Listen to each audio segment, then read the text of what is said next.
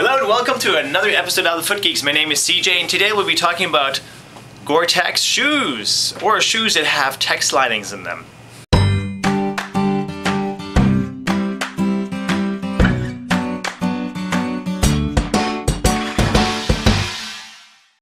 This Treksta right here has a Gore-Tex membrane and as you can see it's got a mesh upper.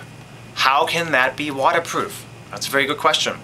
Gore-Tex is not something that is applied to the outside of the shoe. Gore-Tex is something that's applied on the inside of the shoe. So when you have a waterproof shoe, most of the time that doesn't necessarily mean that um, uh, you know the upper itself is waterproof because it could be leather, it could be mesh. What really is waterproof is the membrane inside. So they have, as you can see, potentially on the camera right there, inside there's a grayish kind of layer which is stitched on the bottom right here. And uh, what's happening here is that the lining on the inside is attached to the upper itself. And it's guaranteed by Gore-Tex to be waterproof because they usually are the ones that put it into the footwear and then it gets shipped back to the supplier to finish off the product. Now one thing to keep in mind with Gore-Tex, it's a very, very well insulating material. So it has a great an amount of uh, insulating benefits which keeps the foot warm but also dry and in some warmer climates Gore-Tex sometimes could feel a little bit moist inside the shoe uh, especially if you wear things like cotton socks. Now when you do wear Gore-Tex shoes what we usually recommend is to use products such as polyester fibers, uh, wool socks with a polyester fiber combination can work as well because in order for the Gore-Tex membrane to allow the sweat from the foot to pass through the membrane, it has to come in really, really fine particles.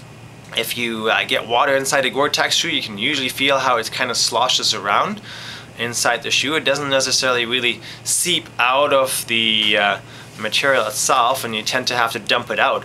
And that's because the Gore-Tex membrane really only allows small, small little heat particles, you know, kind of sweat particles, as they come off as steam to pass through the membrane, and that's what they say makes it breathable. And because it has, you know, such kind of tiny little hollow spots on the inside, uh, it uh, then prevents bigger drops like rain and, and, and bigger water droplets from passing through the membrane. And that's why it keeps your feet dry when you're walking around in really wet conditions. Now if you want to clean a Gore-Tex membrane, usually what you want to do is keep the upper of the shoe free of debris because the more dirt there is on there, the less likely for the Gore-Tex membrane to be waterproof. So keep that in mind when you're cleaning your shoes. Use just cold water and a brush to clean up your shoe. Don't use uh, detergents or soaps or anything like that on the shoe itself because that could potentially clog the pores, making the uh, material not work as intended. Now, if you have any other experiences with Gore-Tex or any other comments regarding the Gore-Tex membrane, please post your comments below. We'd love to hear from you. And if you haven't subscribed to us yet on YouTube, do so right over here in this corner. Have a fantastic day.